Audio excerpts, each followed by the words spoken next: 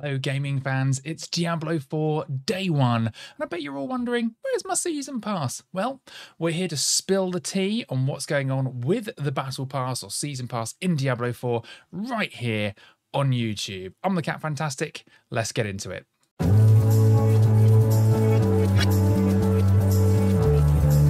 So you've logged into the game for the first time today, and you might be forgiven for wondering, where's my Battle Pass? But don't worry, everything is as it should be. PC Gamer gave us a scoop a little while ago and let us know that the plan for Battle Pass is that the first season will go live around about six weeks after launch. The reason for that is that to get the Battle Pass rolling, you need to have completed the main campaign for the game. That's Acts 1, 2, 3, and 4 all together.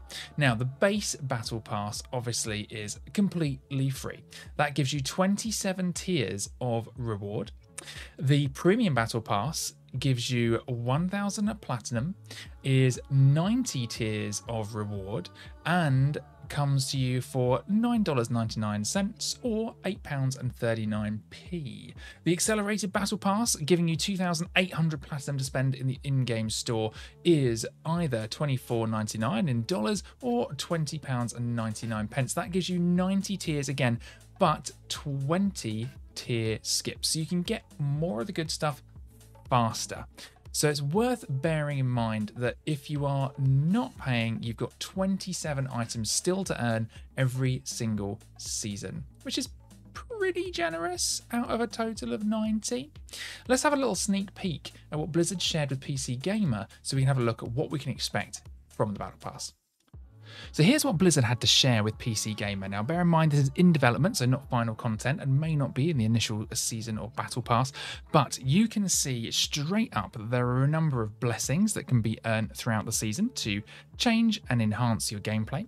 There are a range of cosmetic weapons, cosmetic armor items, and of course, everyone's favourite, the tattoos or markings, alongside some platinum to spend in the in game store. Now, as you can see, at various points, you'll be earning ashes, and that plays into the blessing system. So here we can see the blessing system uh, or an example of, again, in development and not final content that Blizzard shared with PC Gamer. So here is where you'd be spending those smouldering ashes that you earned throughout the season. So you can see some seasonal blessing examples here. So you've got Urn of Aggression, boosting your XP earned from monster kills. You've got Urn of Bargaining, boosting the amount of gold earned from vendor sales. And then Urn of Reclamation, which boosts the chance of rare materials from salvage. And finally, you've got Urn of Prolonging, boosting the duration of all elixirs. And of course, a top secret one. Why not be a tease?